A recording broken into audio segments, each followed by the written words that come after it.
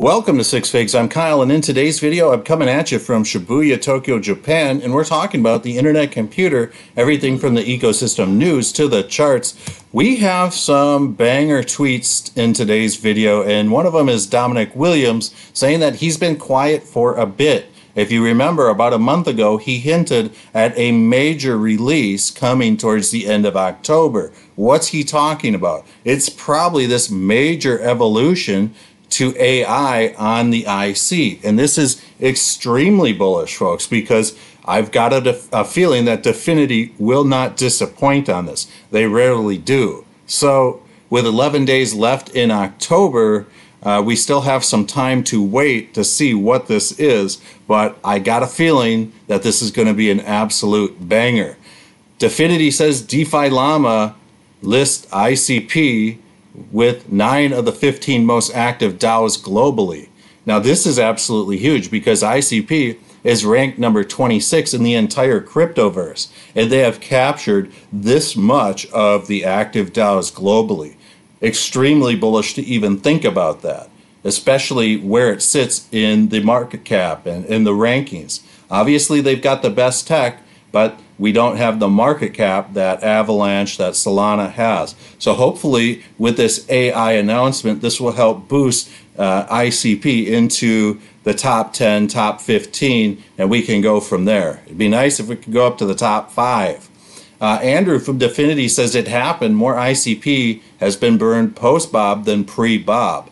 Now, this is very important because ICP is deflationary in the sense that the more people that are using the chain, the more ICP that gets burned. And folks, this is exactly why we need all hands on deck when it comes to building and, things like that. Now, I've seen a lot of chatter here about KongSwap, which we're going to be talking about in just a second. But I just wanted to shine a light on some of these other great projects that you're seeing here. Uh, remember, folks, we shouldn't be ragging on all these projects that want to build on the internet computer. We need them. If they only burn one ICP per day, we still need them. If they burn 100 ICP or 1,000 ICP a day, we need them. We can't have any stones unturned. We need ICP users and we need them bad.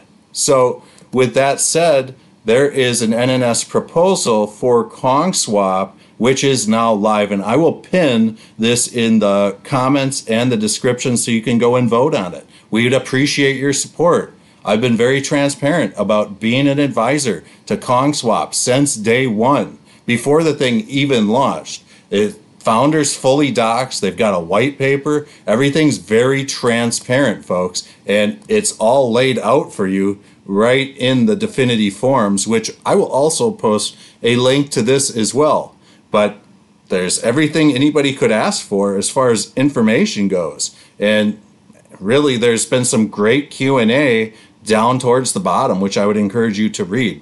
Uh, so there is a proposal right now 133442 which is live for about the next day and a half or somewhere in there. And kongswap is ab- absolutely killing it almost 49 to 1 so there's a lot of support out there for KongSwap.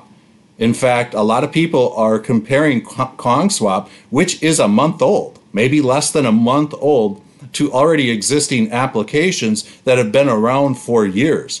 And KongSwap is on par and faster. And guess what? We haven't had any failed transactions in the last 7,000 transactions. So let that sink in for a second.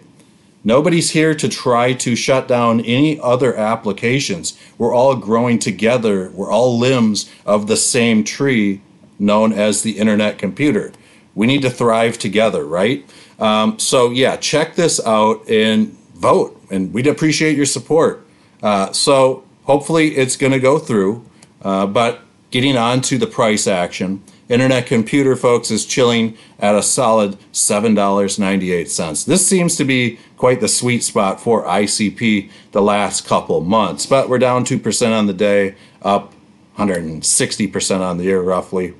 Looking at the daily chart here, guys, and we've got this beautiful uh, pitchfork that I've drawn up for you. We've got a symmetrical triangle squeeze that is happening here. And we are seeing this price really since June Mm, just trade sideways. And we're seeing a squeeze happen. We're seeing the highs getting lower and we're seeing the lows getting higher. And we're seeing it really consolidate. So this is the buyers and selling basically headbutting over price action. Now we do have a Fibonacci time sequence that did occur on October 13th, somewhere in there. And hopefully that's marking the local bottom because if ICP is able to follow this pitchfork, we're going to see some of these higher $40, $50 prices maybe by this spring. So within the next six months, which would be really cool. Um, if you see ICP trading above about $9.50, somewhere in that neighborhood, we've probably broken out of this symmetrical triangle and hopefully are heading to the upside. Uh, so, folks, with that said, I will try to create some more videos over the next week. Uh, but it's been difficult because I've been traveling through Asia and I'm in Bank or Bangkok. I'm in uh, Tokyo right now. Uh, so I love you all and we'll see you guys on the next video.